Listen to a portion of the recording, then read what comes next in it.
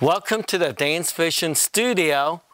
And we're back here, but this time I'm with Slawek and Marzena, the four times U.S. Smooth champion. And I still can't get over this. They have never lost a dance during the four year while they were champions. Is that correct? That's correct. Wow, that's unbelievable. But anyway, um, I want to ask some questions, get to know you better. What inspired you to start dancing, Marzena? Uh, well, I, I was born in a dance family. My all uh, my mom and her three sisters used to dance, and they all danced with her partners and husbands later. So I kind of grew up in a dance family, but as a kid I was very shy and I didn't want to dance at all because it required to dance with a boy. So my mom signed me up for ballet, jazz, everything else. In the ballet they told me there was no hope for me because I didn't have a turnout. I can go do something else, so I shouldn't dance. And uh, so I kind of was going to my mom classes back and forward. Then when I was 15, I met this boy who was very handsome and he asked me, would you like to dance with me? And I was like, yay, I want to dance. So that's when I started. Uh, he danced maybe for nine months and he stopped, he got bored. Then I got another partner. And then I met Slawek and I was like, whoa, who is this boy who practices eight hours a day by himself? And I really would like to dance with him. And somehow it happened. He moved to my city and we start dancing. And then that's 22 years later right now. Wow, that's awesome. One lesson learned is that Never take one person's opinion as 100%. Yes. Everybody has an opinion. There's two sides to everything. And if you're determined and you want something, you can listen, but move on and live your dream. Yeah. Slawek went for the same story. I actually have a very similar beginning. The difference was I don't, I don't, do not come from the dancing family. My, my parents never danced. But uh, was similar. One of the pretty girls asked me to dance, and I was 17 back then. I used to play basketball, so when I when I started, uh, my first teacher said to me, "You know what? You're too old. Play, go back, play basketball. You're never gonna be good at this." So, you know, he, he actually pushed me to try harder to prove him wrong. And four years later, my first partner stopped dancing, and sometime later, I actually met Marzena. And what's funny, actually, a couple years later, uh, we were invited by the same coach to dance show on his on, on the competition he organized. Back in Poland and at that time we were already US and the world champions. And it was interesting how the you know the life you know drew the circle back to the place where you know he said we, we won't be able I won't be able to dance well but look you actually invited me to as a world champion to dance on your competition. So that was interesting. See there you go. That's another yeah, so guys story. never quit. Yeah. if someone tells you you cannot do it if you really want it and you put your heart to it, you can yeah. achieve any goals. Both of us, we were told there was no hope for us. Yeah, and, and I think part of it, it, and I think part of it because we we weren't kids when we started. I think we were a little older. But I was 15. I was 17. But I think the the part the, the fact that we were older actually also helped us to to kind of set up the dreams very clearly that we knew what we wanted and therefore we work very hard. You know, sometimes when a kid starts very early, they don't have this, this sort of drive yet. Well, also I feel that you can never judge someone when they're 10, 12, 14, 15. Right, right. I see it not just in dancing and sports. Right. Someone can be great at 14, by 18, guess what? Right. They get They're not even, not bored, but even their talent yeah. only taking them so far. Yeah, Someone yeah. 14, working yes. the butt off, not getting anywhere. By 18, boom, they right. shoot up. Okay, moving on to smooth. How has it changed in the last 10 years? Briefly tell how it's gotten to today, oh, wow. which is fabulous. I love the style. And if I was to come back dancing, I would be the new American style champion. See? You can still do it, right? Over 60. but anyway, we how has it changed? Oh my gosh. When we first came to America, it was 2002. We came to Emerald Ball, first competition. That was the first. That was the very first competition that yes. we got to see in America. And actually danced. we danced yes. at that one, at mm -hmm. ballroom only uh, we uh, so smooth and it was like, oh my gosh, what is this thing when people are still waving their arms? And we had no idea. I said they they trying to then stand that they just cannot stay together. that was my first impression. But look, yeah, and see again, 20 years later or whatever, you know, I, I end up dancing this style and, and really loving it. So it's just. yeah, but you know, it was interesting. We didn't understand. Then, when the more we saw the competitions, we first fell in love with Viennese waltz because it was so much more expressive than international Viennese waltz.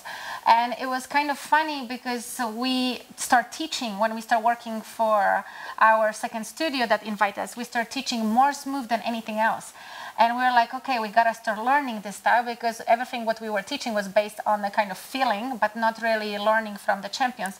And that's when we were uh, kind of approached by two coaches to tell us, guys, you, you have to compete in smooth because we see what you do with your students. We really need you to. And we're like, ah, after the baby. And then when I got pregnant, Toni came to me. She goes, "You are mine for the next year," and uh, she, basically that's how our career started. And we are so grateful that she took us because after doing ten dance for so many years. I think smooth is the best style ever. It has so much to offer and it allows everybody to be so unique. And when you look at today's final, every couple has a totally different approach to the smooth and they look amazing.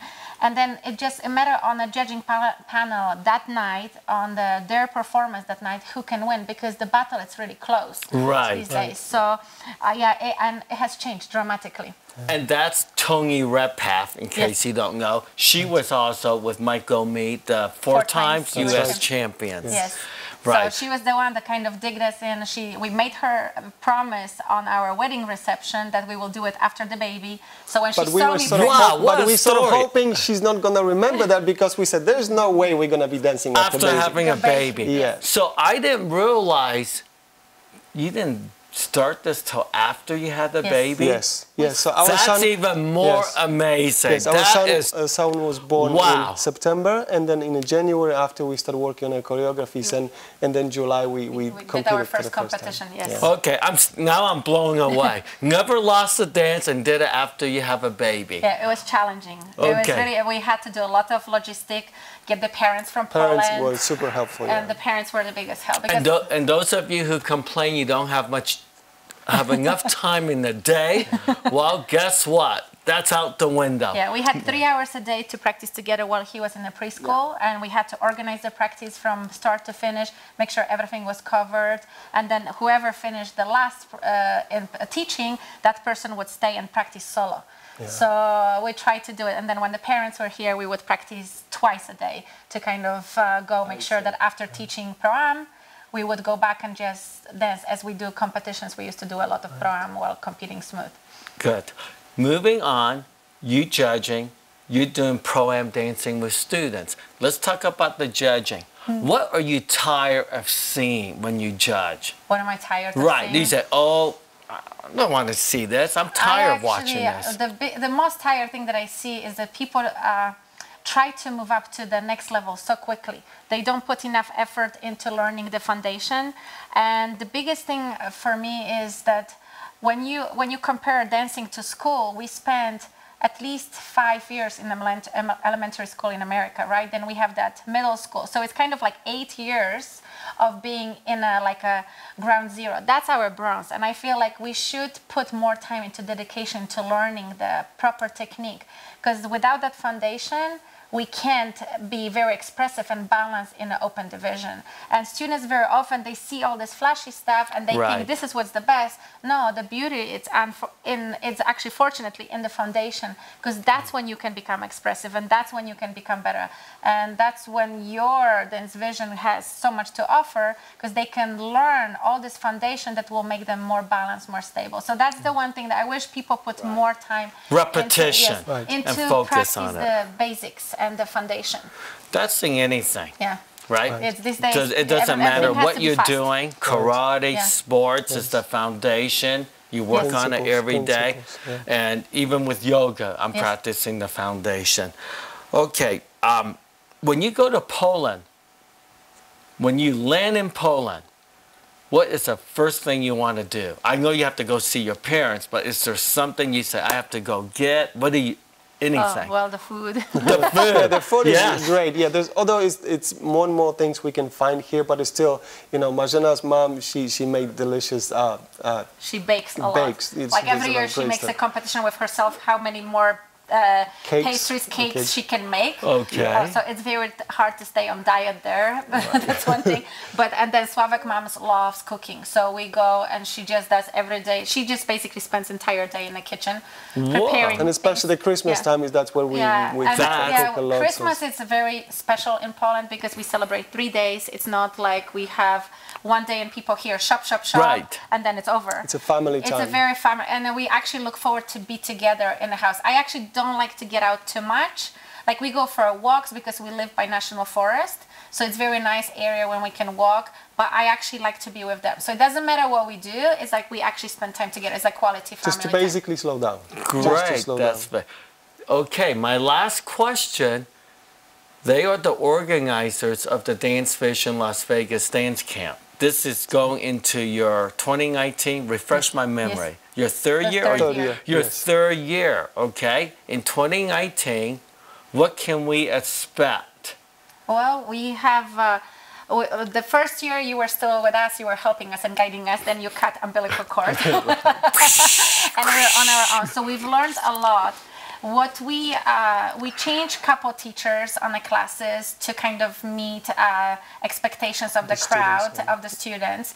So we what we did we put a little bit more technical classes to make sure people can found the foundations of the of the dancing. Uh, on top of that, we do a lot of like we added the social party, which is a great. People love this that we have an additional night and it's a social party in the evening when It's they all amazing. can They still together. have so much energy yeah, to dance. after dancing Right. 12 these hours a yeah. day, they actually do the social party in the evening besides the after hours. And they all get together. We provide snacks and drinks, and it's really fun. on the And they all get together, so it's like friendships. And then we do It's the, like a reunion. Yes. Right. They and meet. they just love it. And then we do we did it actually already uh, the year before we did the ice cream social, which was Right. a big hit.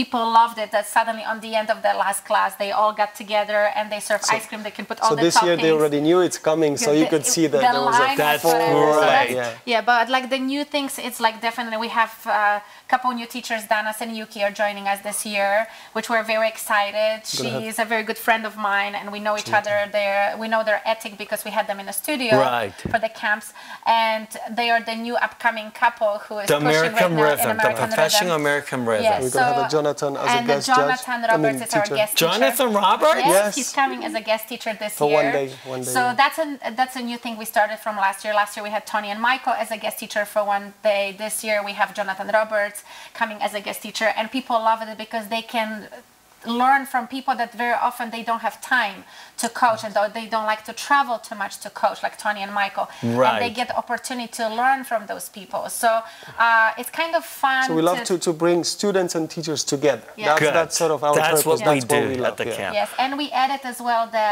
the professional smooth camp, the competitor smooth camp Right. on Sunday. That's the new thing, So yes. that's the new thing. We started last year, kind of. It was a little bit more like, let's see if that will work, and people loved it. So it's mainly for competitors. It's on Sunday. They can come only for this if people don't want to stay for entire week, which we hope they will. But if there is someone who's competing and they want to learn all the secrets. You know, we did with we're doing this with Eddie Simon and JT, and it was really fun. It was just like uh, four session uh, with them, four session with us, and they get additional day on Sunday Good. for competitors. So there you have it, getting to know Slawek and Marzena a little better. We're gonna have a episode number two sometime coming up in January. Thank you for joining us here at Dance Vision Studio. Bye for now. Thank you guys so you. much for having us. Thank, Thank you, you. Wayne.